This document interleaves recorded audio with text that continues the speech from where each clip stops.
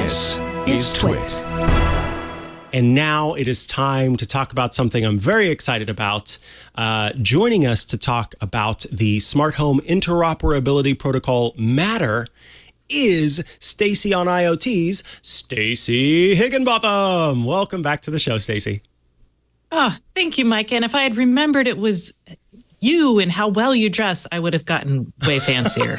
Dang it. Oh, that's okay. That's okay. Sometimes I'm in a hat and a sweater. Like it's it's always it, it, it doesn't matter. It's okay. Uh, so I'm so glad you're here. So happy uh, to talk to you about this because I just saw you um, on stage. You were hosting a panel uh, or moderating a panel about uh, sort of the next wave of what's going to be happening in IoT. And I know I was just talking to uh, my pal and previous co-host Matthew Cassinelli, we used to host a show here on uh, Twit about smart home stuff, and he and I were talking about how you know when's Matter coming, when's Matter coming. So it's here. But before we talk about um, what that means, I think it's important for folks who are just you know sort of unplugged from this. Can you tell us what is Matter in the first place? Sure. It is a smart home interoperability protocol, and all the big names in the industry like Google, Apple, Amazon, Samsung, everybody got together and now there are like 550 companies who are pushing for this. So the idea is to make the smart home interoperable. And you no longer will have to like, oh my gosh, does this work with Nest? Does this work with Google? Does this work with Apple? Is it HomeKit? You can just buy something if it has the Matter logo on it and know that it will work with any other device that has the Matter logo on it, which is really awesome for consumers because that was a huge barrier to entry for any smart home device. The other thing it does that's a little bit more subtle is there are actually security requirements that are part of Matter. So you're going to have device encryption, you're going to have a secure enclave, there's an authentication process. So when you buy a Matter certified device, you're getting some level of security. I mean this this probably isn't great like for a nation state attack or if you're like the president of the United States, but for like normal people, you at least have a sense like, hey, someone's looked at this and and this is secure. This isn't just like sending all my data off to like, I don't know. I was going to say Estonia, but Estonia is actually a nice place, so I can't say that. um, so that and then the final thing it adds is reliability because it's got Matter uses both Wi-Fi and the and the Thread network, and uh-huh. the Thread network is a super well theoretically this is its big moment to shine. It's a mesh network, just like, you know, Zigbee or Z Wave might be, but it talks out to the internet. It's got some resiliency and it's designed for the smart home. So we're hoping you get that interoperability, security, and reliability. Yeah, all together at once, which, you know, this is the thing is time after time after time for those of us who've been playing at the very least uh, or have been, you know, super into the smart home, we've heard about all of these different ways that that's, you know, the smart home is finally going to do what we expect of it and it will be this robust network. But I have to tell you, um, Thread for me has finally been that answer because of its uh, the the nature of the way that each of the individual parts can kind of communicate with one another and they can all talk to each other at the same time. It just it's it's finally this um this protocol excuse me this this uh connectivity protocol where you have um the situation that adding more makes it better, which we've always heard is like, you know, the more smart home devices you have, the more things get clogged up, the less likely that they'll. And this time it's like, yeah, you've got all these nodes now. They all can kind of talk to each other, create this this sort of uh, hidden network in your home that lets everything communicate with one another. And I think that uh, because of, as you pointed out, Thread's time to shine.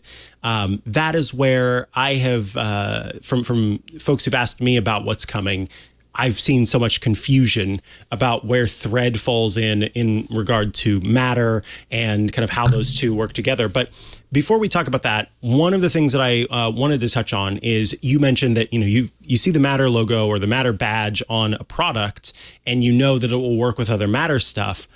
Um, it's true then that I could uh, get, say, an Amazon uh, branded uh, light bulb, for example. Let's say that Amazon had a light bulb that was uh, connected to the internet. And if Apple goes through with its Matter stuff, as I know it is, then I could talk to SIRI, the assistant on my HomePod, and be able to control that light from Amazon? Yes. And even more, you could actually have maybe you have Lady S running around your house, probably not running, sitting in a HomePod mini somewhere. um, you've got an Amazon Echo and you're talking to Madam A. You could actually install that light bulb one time in your house, and it's a nice install. The provisioning under Matter is really, really nice. Um, it's a QR code based. It looks a lot, if you're familiar with HomeKit, it looks a lot like that. You'll put that device on your network, and both Amazon's device and Apple's device will see it will recognize that it's a light bulb and will let you control it from either of those two places. That's mm. not everybody is running probably complex homes like we are, but that's actually right. really cool because it also means like, let's say you're sick of Madam A and you're like, I just got the new iPhone and I'm all in on HomeKit.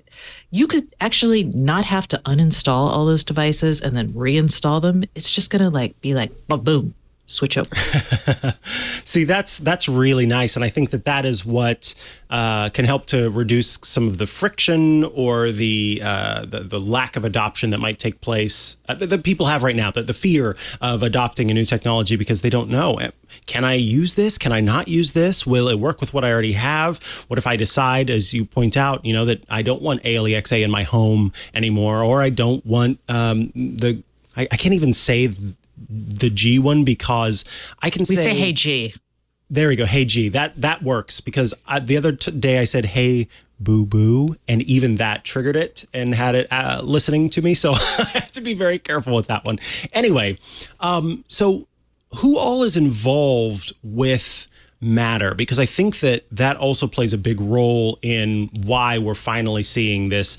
this could actually be the one.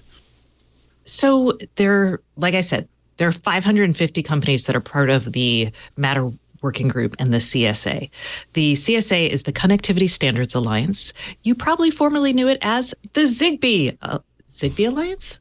Yeah, yeah. Yes, I think, I, think I, was like it was it's like this agency. Yeah, so yeah, yeah, the Zigbee Alliance. And what happens is, or what happened was, when Zigbee got the it was called Project Chip Working Group originally, Connected Home over IP.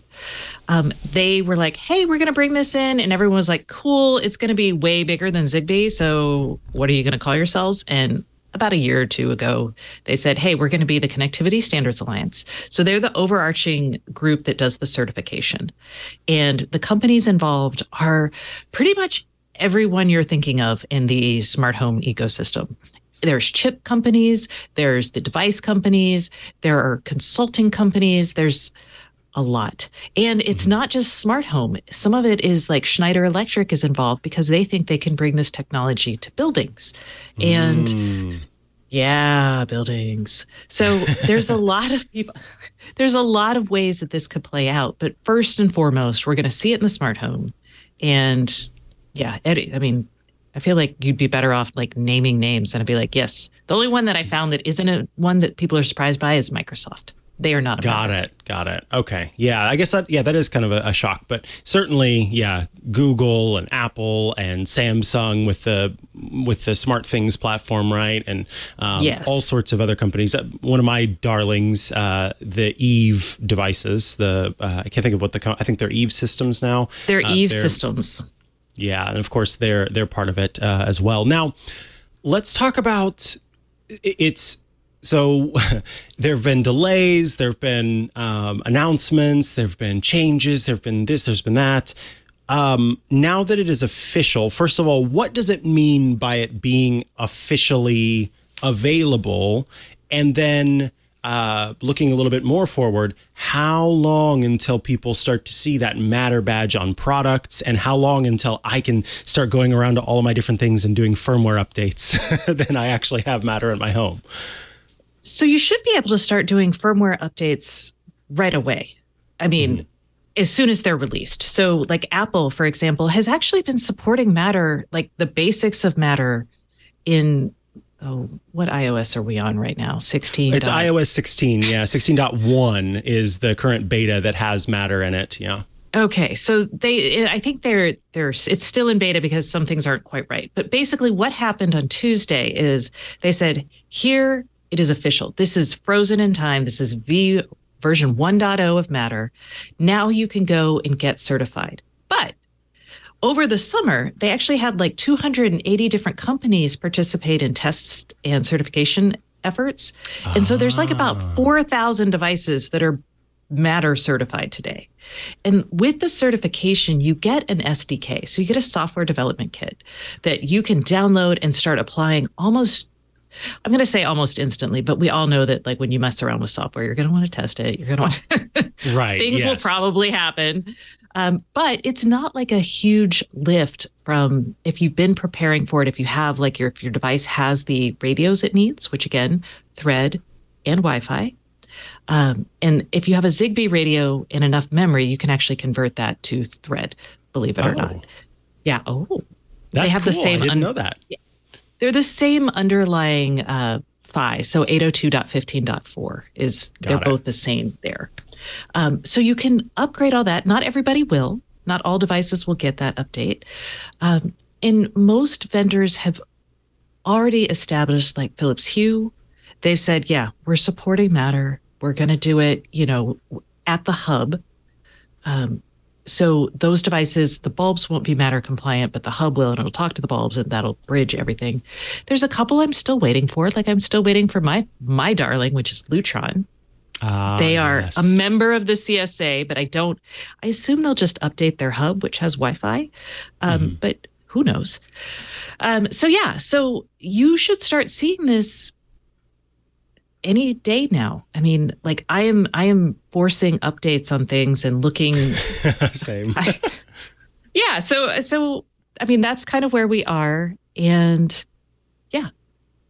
Awesome. Well, I know that Google recently updated the uh, Home app on its uh, on Android to uh, better make make way for Matter. Is that is that the case?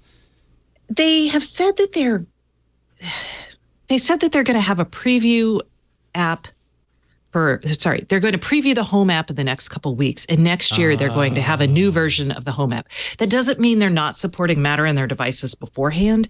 And it and they have talked about building matter into android.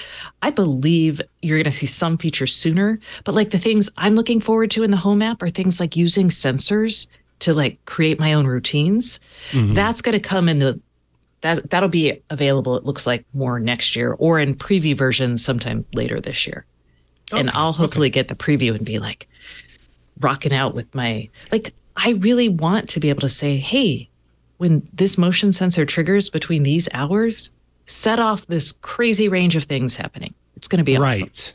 Yeah, it will be awesome, and especially because um, this is built with the local network in mind. So the uh, the what is the word I'm looking for? Responsiveness of it is is a lot better uh, versus where you know if this and that, which is I know a lot of people use and love. Uh, but it can take some time at times to actually do all of the things that you wanted to do. So having it all happen uh, as close to the local network as possible, and particularly with Thread. I mean, I've got uh, an Eve door and window sensor, which, you know, it's a contact sensor essentially, and it is using Thread over HomeKit. And I kid you not, even though it's just got one tiny little battery in it and uh, would otherwise take, when it was just Bluetooth, it would take a million years to actually do anything. The second now that the door opens and I have it set to specific times of day, um, it will notify me. The second it opens hey the door has been opened. Hey the door has been closed. And it used to be like you'd open the door you'd wait and then maybe it would tell you, maybe it wouldn't. And then you go, oh, okay. Then you close the door. And then an hour later, it'd be like, your door open and closed. that was Bluetooth. Thread has been incredible uh, just in HomeKit. So once this, this sort of bigger rollout happens and I can start to kind of add even more devices to that, I think that it also will mean that I'll get a lot more use out of. I keep pointing behind me because I've got an Echo um, I can't remember what they're called now, uh, but I've got some I've got some Amazon stuff and some Google stuff back there that uh, all just kind of it, it, you know, it, it, cycles between photos, but uh, outside of that, I don't use it much. But I think when Matter hits, uh, being able to just use whichever one I want to use at any time is going to be exciting. Uh, anything else yeah. that you'd like to? Sh- oh, maybe you did have something there. Please. Well, I was going to say two things for you. One, the latency on Thread is awesome. We've compared it to Zigbee and Z-Wave. So if you're an old school home like automation person, you're going to be like, how does it ring? So much better. It's super fast. And two, because you mentioned you have Eve, Thread, because it's this is its moment. It's going out in millions of homes with this matter certification. Like Comcast is going to start updating its 20 million homes to like operate with Thread, right? Wow. That's going to be crazy. Um, Eve, their app has in this settings, you can actually see your thread network, and that includes like all your nodes. And then they have this thing called a border router that lets you talk to like the Wi Fi network. Mm-hmm. That is an awesome troubleshooting tool. And I've been recommending it to anybody who, as you're starting out with this, if you have an Eve device, I believe you have to have an Eve device, but you should. They're really good devices. Um, you can actually see not just those devices on your Thread network, but your entire network and the topology of the network. And it's pretty cool for troubleshooting. So that's my pro tip for you. There we go. Well, Stacey, I want to thank you so much for taking some time to uh, join us today to talk about Matter. Of course, folks can head over to staceyoniot.com to stay up to date with what's happening and uh, hopefully get to hear your thoughts as uh, you, you get those previews over the coming months as well. Uh, but if folks want to follow you online and check out all the great work you're doing, where should they go to do so? Uh, at GigaStacey on Twitter or staceyoniot.com is where you can find me. Awesome. Thanks so much. We appreciate it. Thanks.